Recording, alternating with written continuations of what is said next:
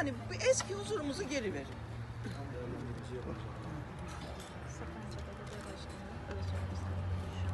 Bizim can güvenimizi korumak sizin göreviniz. Bizim huzurumuzu sağlamak sizin göreviniz. Aa. Ama siz dersiniz ki ben çok zor durumdayım. Derseniz biz ona da yardımcı oluruz. Yani benim diyeceğim bu kadar. Çok üzülüyoruz.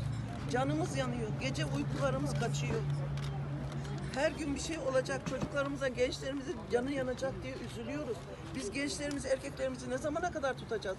Ne zamana kadar geri, geri planda tutacağız? Biz de bir yere kadar dayanacağız. Bir yerden sonra biz de pes edeceğiz.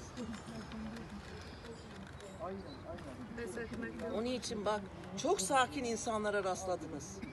Eğer bu durum bak bu durum Sapanca'da olsaydı, Sapanca'nın herhangi bir yerinde olsaydı bu kadar sakin geçmezdi. 3-4 kişi ölürdü.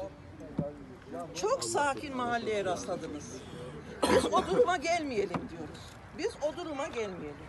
Canımız yanmasın, can kaybı olmadan bu işi ne olur lütfediyorum, yalvarıyorum. Bu işi sakince bırakın, yerimizi geri verin.